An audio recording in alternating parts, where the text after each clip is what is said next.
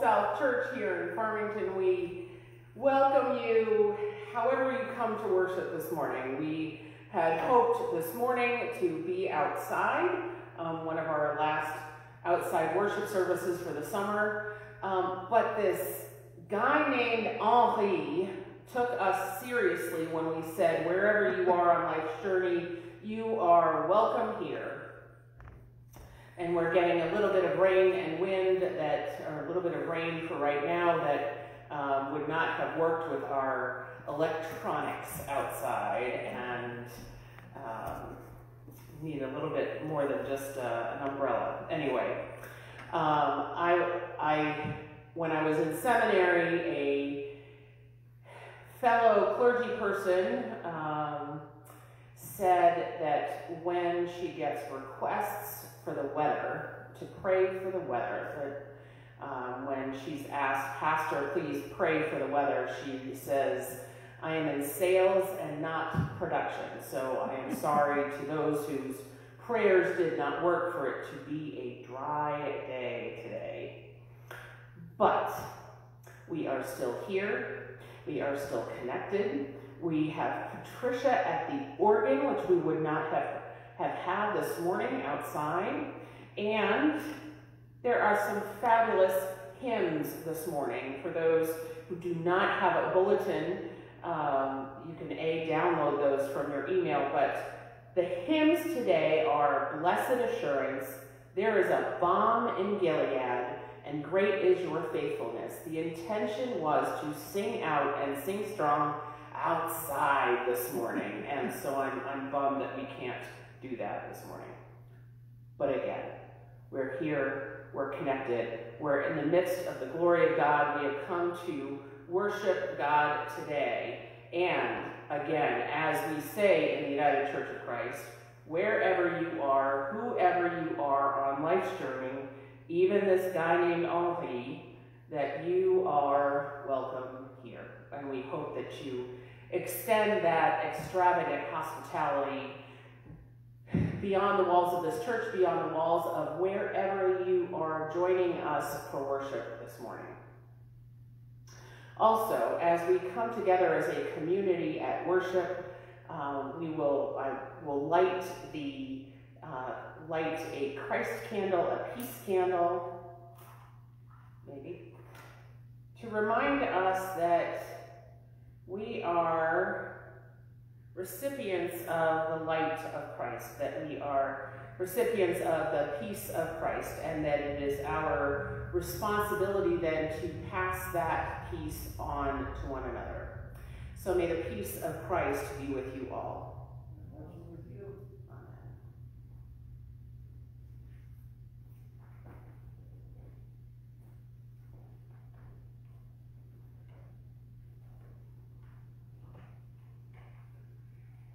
Good morning. Please join me in the call to worship. In this house, you will find bread for your life's journey. In, in Jesus, we find life anew. Come, stay a while and eat this bread so you will never hunger. In Jesus, Jesus we find life anew. Come, be strengthened in God to withstand the present night and the spiritual forces of evil Jesus, we find life anew. Please join me in the opening prayer. O God, we have no life apart from you. We do not come here to eat bread that fills us for a day. Rather, we come to nourish by you, and that the love you have for us fills us for a lifetime. May this food strengthen our discipleship grant that it is renewed in our commitment to proclaiming the gospel of peace through our ministries of peace and justice in the name of Christ Jesus. Amen.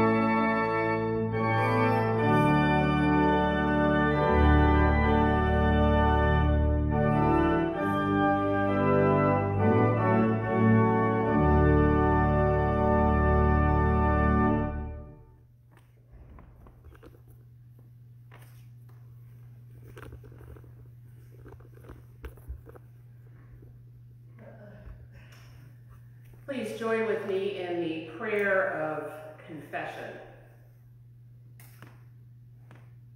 We profess that you are God, O Holy One. We have no other gods, and yet we do not always serve you with sincerity and faithfulness. Our other gods are not the ones of our ancestors, the ones beyond the river or in Egypt or of the Amorites. We struggle with other gods here and now who seek to fulfill us by consumerism and with self-importance. We, are, we hear gods who instill in us such fear of our enemies that we seek power from weapons of destruction. Help us, O oh God, to find fulfillment in you. Forgive us that we are skeptical of love's transforming power. We repent of our sins and turn, turn our hearts again to you. Amen.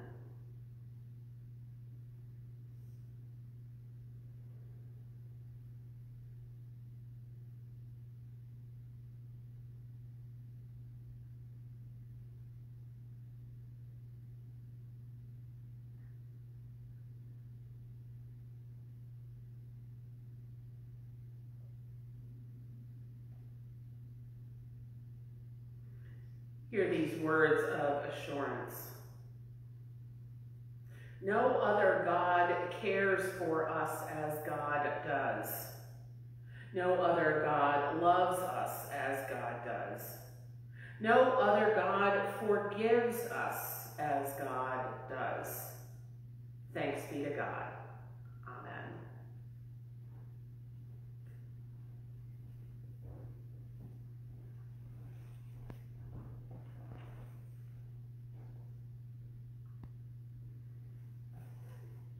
This morning's scripture readings are from Ephesians chapter 6, verses 10 through 20, and John 6, 56 through 69.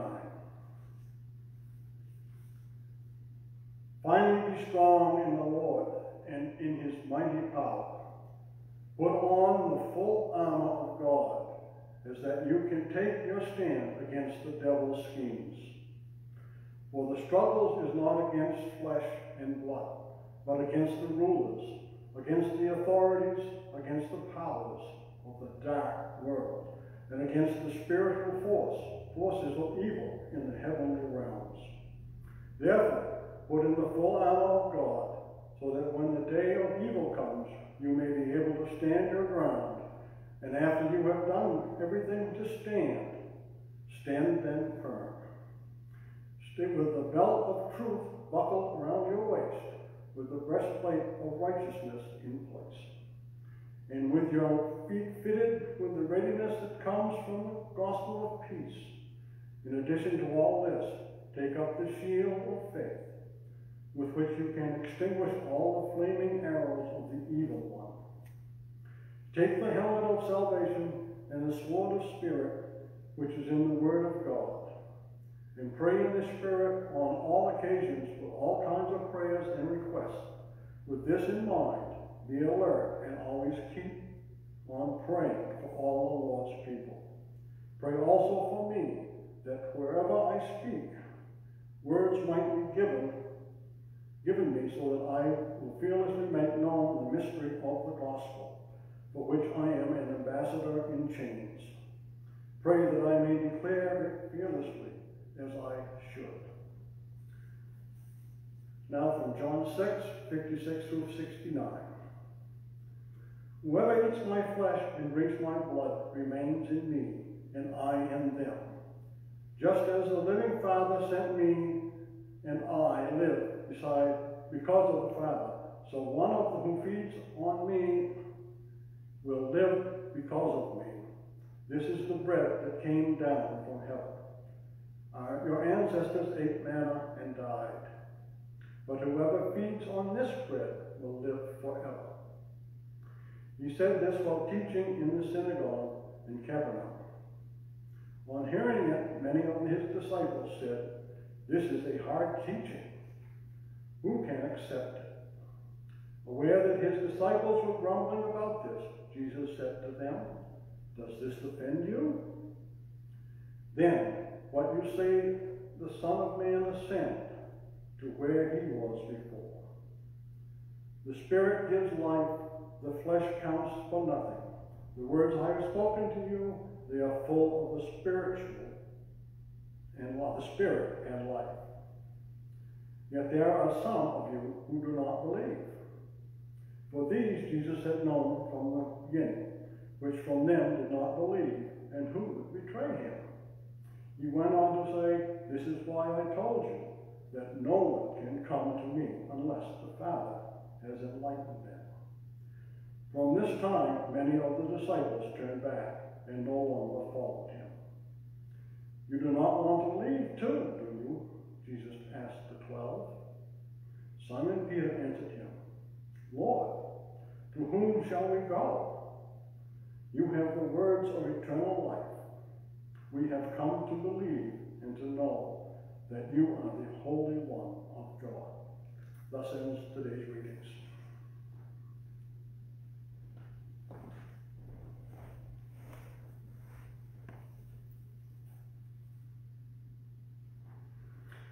Let us pray.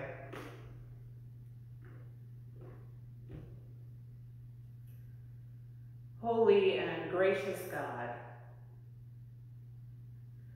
words of my mouth and the meditations of all our hearts upon these scriptures and our experiences be acceptable to you, O God, our rock and our redeemer.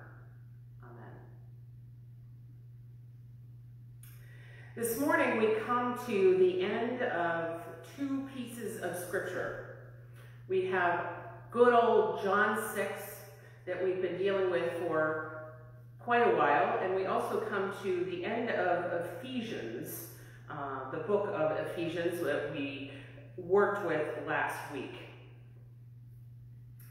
So the end of John 6 goes a bit like this. Disciples, if you haven't gotten it through your thick skulls, the Spirit of God is with you in the bread of life. I am the bread of life. I bring spirit, I bring nourishment, I bring life. Get it through your thick skulls. More or less, that is what Alton just read. So Ephesians. Ephesians is a letter from Paul to the church in Ephesus. And as I was spending time with the scripture, I turned to the very beginning of Ephesians, and the, the uh, message has this great introduction that I thought I'd share with you.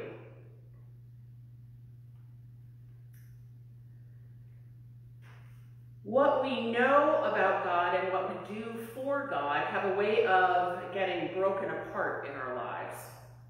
The moment the organic unity of belief and behavior is damaged in any way, we are incapable of living out the full humanity for which we are created. Kind of has echoes of John 6 there too. Disciples, remember, Jesus is the bread of life. Once our attention is, the, the introduction continues, once our attention is called to it, we notice these fractures all over the place. There is hardly a bone in our bodies that has escaped injury, and hardly a relationship in city or job, school or church, family or country that isn't out of joint or limping in pain. There is much work to be done. And so Paul goes to work.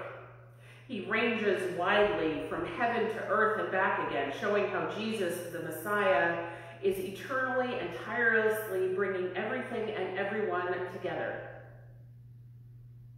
He also shows us that in addition to having this work done in and for us, we are participants in this most urgent work. Again, echoes of John 6. It's there in those words, too, of introductions to the Ephesians. It's there saying, Jesus is the bread of life. There is spirit to help you through your life. There is God in me as we go through the world together. Once again, it has been a week of upset and worry and unrest. We here this morning are affected by this storm, this tropical storm or Hurricane Henri. And although we are just getting rained on, that there are some areas getting strong winds, there are some areas getting lots and lots of rain, and we worry about our brothers and sisters in the path of that storm. We worry about those who are affected by the earthquake in Haiti, by 2,000 plus killed in the aftermath. We are worried about the ongoing climate crisis. We are worried about drought in the western part of our country. We are worried about wildfires. And we are worried about the ways that that even affects us in our day-to-day -day lives. We also this week have the heaviness of the withdrawal from Afghanistan, what that means to each one of us what after 20 years of unrest, war, of our investment in a society, what that looks like as we come out. So in comes Paul's letter to the Ephesians. This theme appears in many of, in, in, a, in several of Paul's letters to his churches. Galatians, we hear this echo of that full armor of God. The righteousness, the breastplate of righteousness, the helmet of salvation, every piece of the body is covered by the protection of God. The armor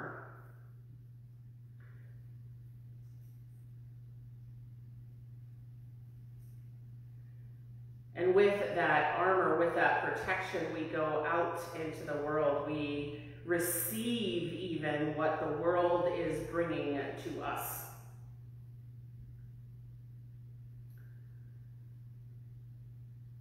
That vocabulary of armor, of unrest, of war, of weaponry is not something we, the progressive church, like to talk about a lot. So we'll talk about it without talking about it. But Ephesians gives us this option of being prepared. Even if you don't like the vocabulary of a breastplate or a helmet or chainmail or however else we are covered protected by from unrest and from crisis. The letter to Ephesians tells us, be prepared. We've, we've heard that theme echoed in other gospel lessons, and others of, of Paul's letters. Be prepared. I have, I, God, I, Jesus, have given you tools for this journey, tools for this life, tools for the ways that you engage in discipleship. So be prepared. And as Jesus does in, as we hear in John 6, again and again and again, I am the bread of life. I provide you with spirit that we are told again and again and again, be prepared. I have given you tools.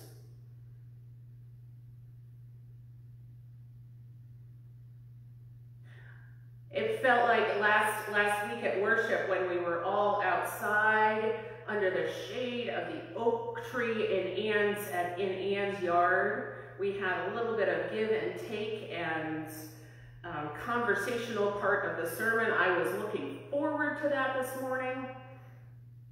So if you want to contribute, if I ask any questions that you want to contribute, and you are online with us on Facebook, feel free to write that into the comments.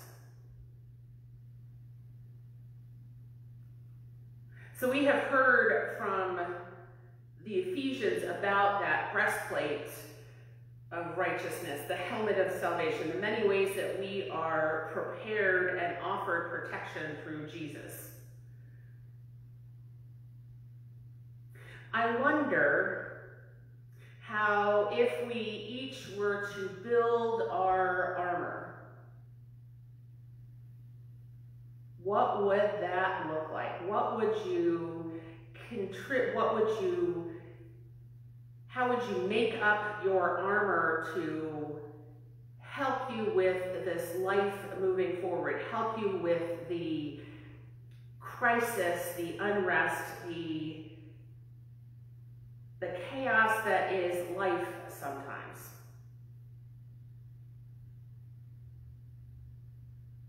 My first thought this morning as I, as I think about what I would put in that package is my bright orange LL Bean raincoat. With a hurricane brewing outside, protects you from the wind, from the, the weather, from the rain. It is also bright orange, so you can be seen in the dark, in the fog, in the shade. Thank you, Dad. It feels almost to me as if that, to me, the, my preparation, my armor to go about the world isn't so different from what I packed to go on the Camino for a pilgrimage.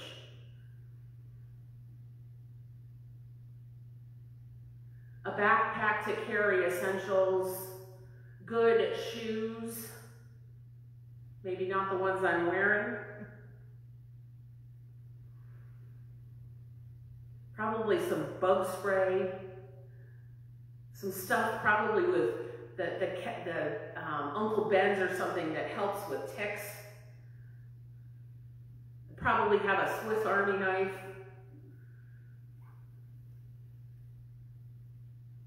There'd be a few books, flashlight. In some way, shape, or form, I'd, I'd carry scripture with me, whether that was a hard copy of a Bible, or whether I condensed it on my phone for a limiting weight.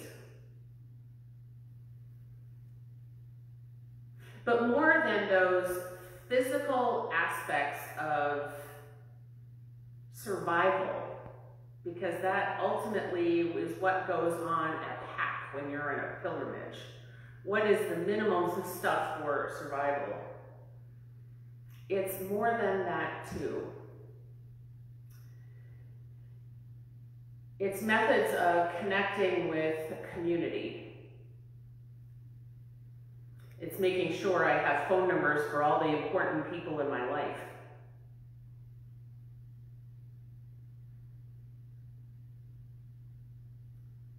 It's pondering ways that I might connect people in my life similar interests, similar geographical locations. That's one of the reasons that I started the pods last year was that there were geographical groupings of people in the church who could work and work and pray and just be together in fellowship.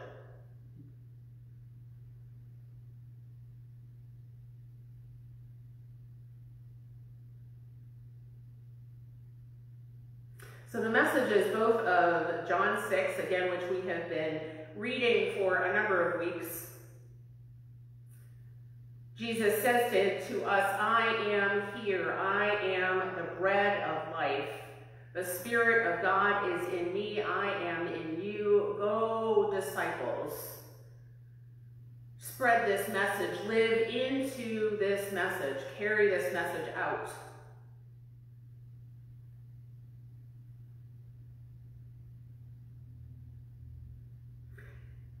And Ephesians says much the same.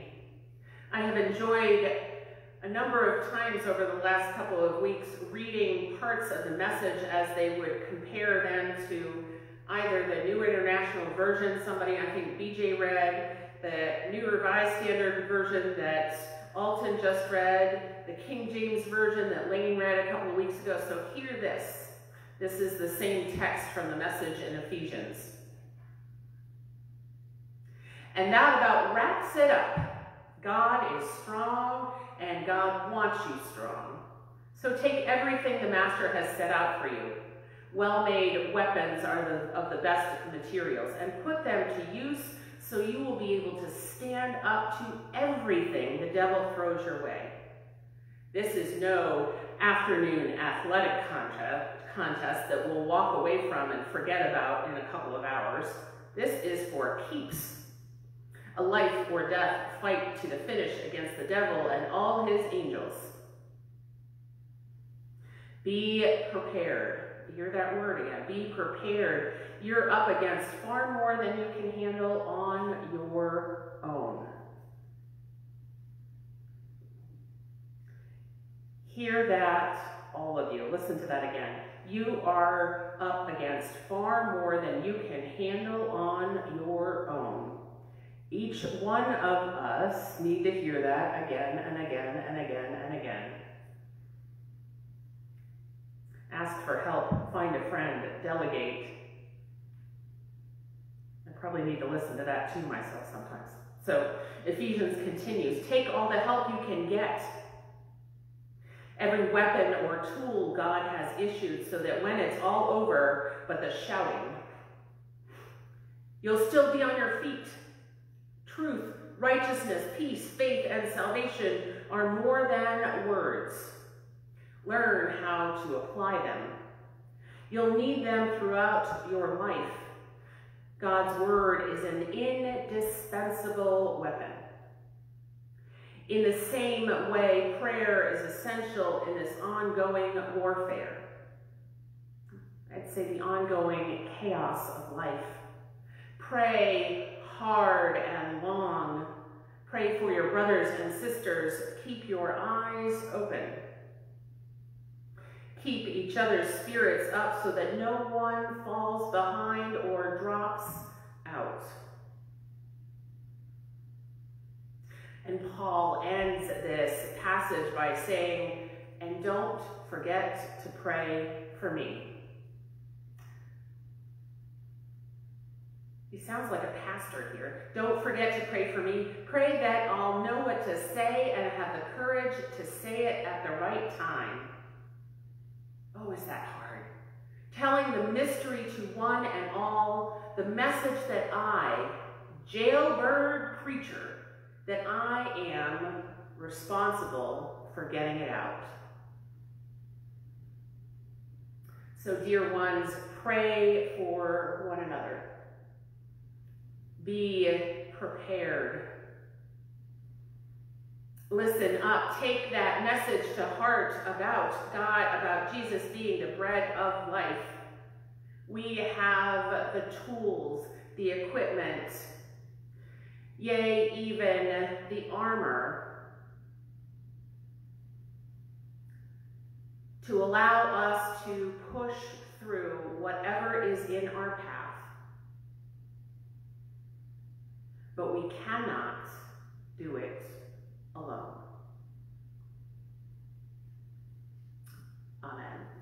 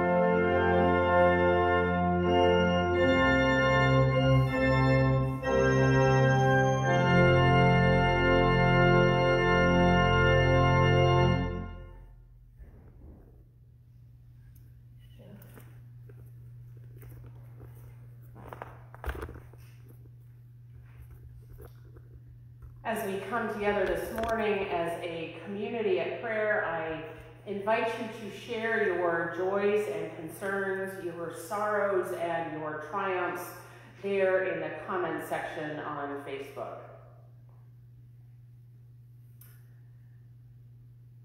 couple of bits of prayers that I mentioned in my in my sermon that we continue to hold in prayer as we go into go into this time. Drought in the western US, wildfires, not just in the western US. I heard this morning that there's a wildfire in the boundary waters in Minnesota.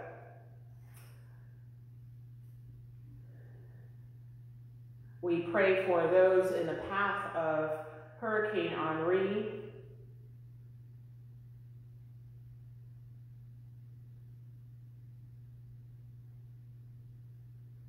We send our prayers, we hold in our hearts prayers for Afghanistan.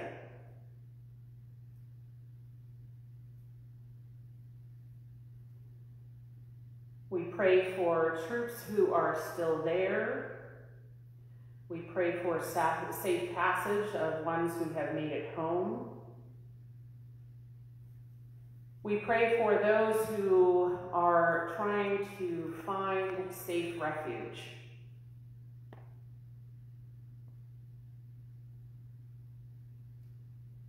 We pray for a country that is once again in high unrest. We have a few prayers on here. Prayers for floods in Tennessee. Prayers for floods in Tennessee, also upstate New York, too. And prayers from Robin for her aunt in North Carolina as she continues to rehab. So prayers so they can move her up here. Robin and um, her aunt, for Robin's aunt. Um, prayers for the Scribners. Prayers for the Scribners. It has been a uh, an emotional roller coaster for the Scribners the last couple of weeks. And from Daniel, prayers for his neighbor. Prayers for Daniel for his neighbor. These are our prayers. Yes, absolutely. Prayer of thanksgiving for Stan's 39th birthday again. A prayer for Stan's 39th birthday again. I, I told him on a Facebook post this morning that it's, um, I don't know if it's lucky or not that uh, we were rained out because I have a feeling he would have gotten around of happy birthday.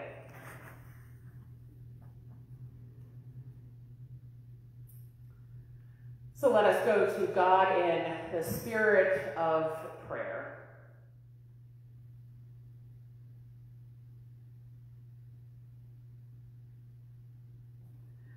Holy and beloved God, we pray for this balm, this B-A-L-M, just to be clear, balm in Gilead. We pray to be made whole for our wounded souls to feel comfort.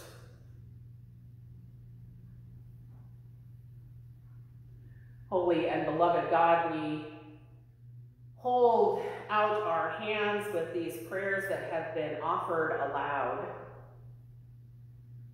for trial and tribulation, for unrest, for a hurting world, we ask you to comfort, to guide, to uphold these prayers.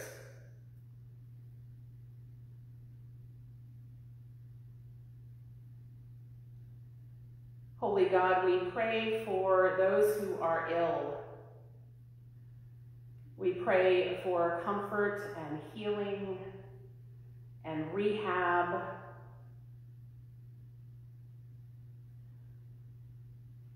We pray for calm in the midst of weariness and anxiety that healing and recuperation requires. We pray for caregivers and monitors. We pray for health care professionals.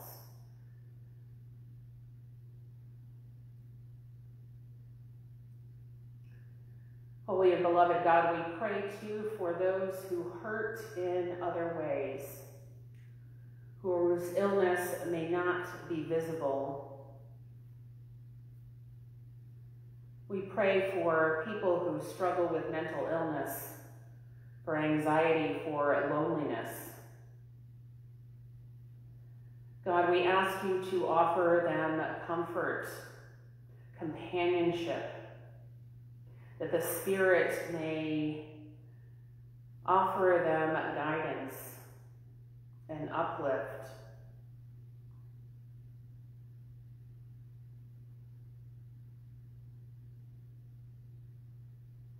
Holy God, we pray for this church, for the ways that we answer the calls to discipleship whether it's John 6 or the book of Ephesians or however we hear the message of the gospel. Help us embrace that. Help us live it out. Help us be flexible in this time that is still not as we would expect it to be. Continue to inspire us so that we may innovate pivot when we need to. But God, a few normal days would be nice too.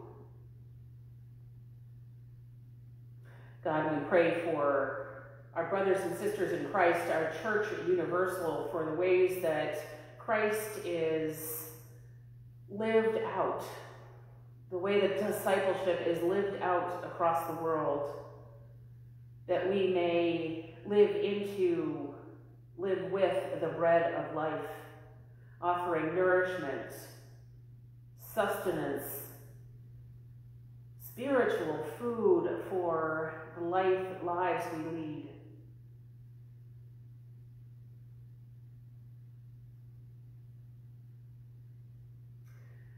Holy God, as this balm in Gilead offers us we may feel discouraged. We may think we are working in, in vain, especially when we have to pivot again and again and again. But be assured that the Spirit is there to revive us again. That the life giving energy and power of the Spirit revives us and pushes us forward. And in this assurance, we pray together as one voice the prayer that Jesus taught us. However, you know that prayer.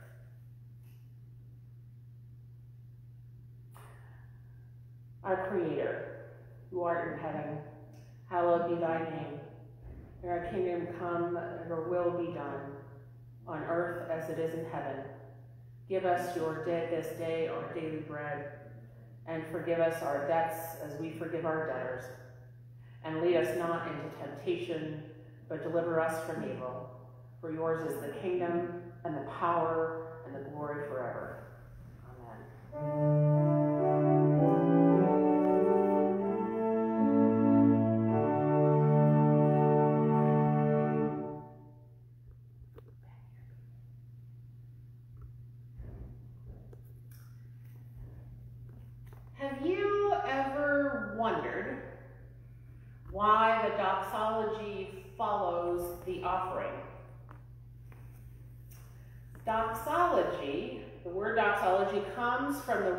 Word doxologia, meaning words of glory. And although we may associate it with a tune, the old hundredth tune that we sing, that it's simply, that word is simply an ascription of praise. Seen this way, this offering is an act, a power of God So we, as disciples of Christ, are called to give generously. We are called to support our ministry and mission of this church and beyond. You are invited to share your offering either by mailing offering here to the church at 235 Main Street. There's also a PayPal link in the event of the um, of the live streaming today. Or you can always drop it off too. However you give, we invite you to give generously to support the mission and ministry of this church and beyond. Indeed, it is through this offering that we honor our God, that we offer our generous praise to God. So the morning offering will now be given and received.